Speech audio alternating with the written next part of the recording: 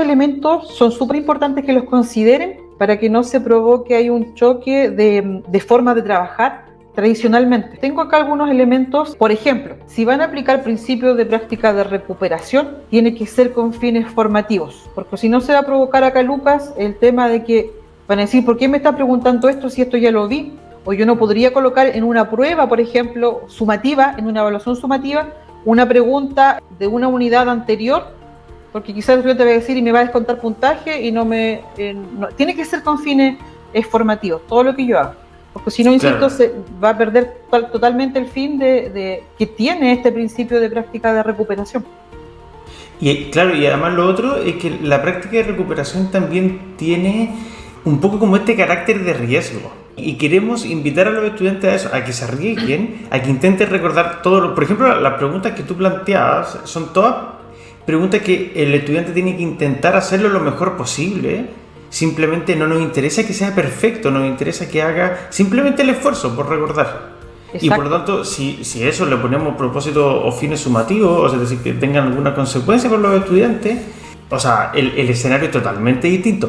De hecho, todos los, todos los resultados de investigaciones que nosotros les mostramos anteriormente son todos en contextos formativos, no son cuando la práctica de recuperación tiene una calificación, por ejemplo. ¿Ya? Entonces, si llegan a incorporarlo también así después no les resulta como esperaban, nosotros no nos podemos hacer cargo porque la idea de acá es una estrategia únicamente con fines, bueno, ya, formativos, como lo hemos dicho. Bueno, lo, otro es que la, actividad sea lo suficientemente desafiante. Creo que eso también es algo que, lo, que lo hemos dicho. Esta es una diapositiva en la que si quieren pueden ir sacarle fotos, no tenemos por qué aparecer nosotros, pero sí puede aparecer cada uno de los elementos de la lista de verificación, porque es súper buena para poder tenerla al lado cuando la quieran, la quieran utilizar. como decíamos hace unos minutos atrás, que no sea ni muy fácil ni tampoco muy difícil. Luego está la idea de que tenga relación con los objetivos de aprendizaje. Quizás tú, Isa, en las actividades que mostraste, no era tan evidente, pero era súper bien diseñada la actividad en función del objetivo de aprendizaje que aparecía en la plataforma de IRMI. O sea, tenemos el objetivo de aprendizaje visible siempre, cosa que es muy útil para poder ir y volver continuamente, y después lo tomo y hago algo que sea asociado a eso.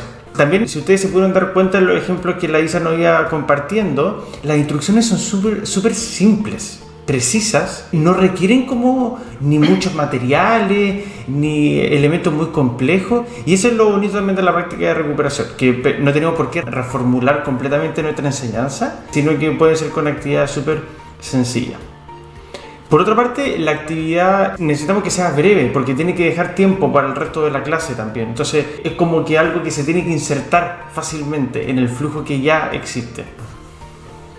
Y por último, si queremos que los estudiantes tengan aprendizajes que sean más flexibles, que puedan integrar más cosas, tenemos que hacerles distintos tipos de preguntas.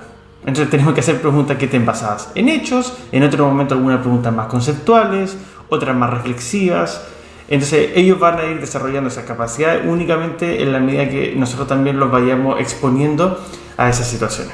Así que este es algunos elementos que consideramos que son claves que tienen que considerar al momento de implementar la práctica de recuperación.